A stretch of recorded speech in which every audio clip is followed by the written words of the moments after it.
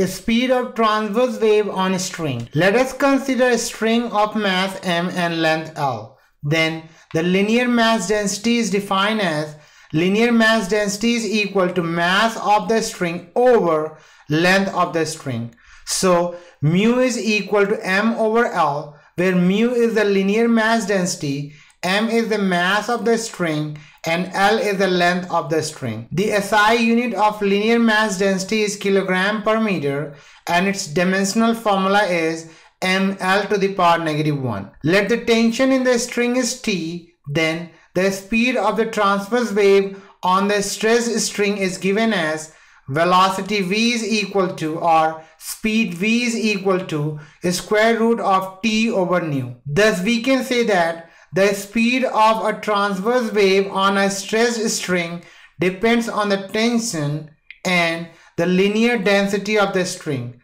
and it does not depend on the frequency of the string. And this is how we will define the speed of transverse wave on a string.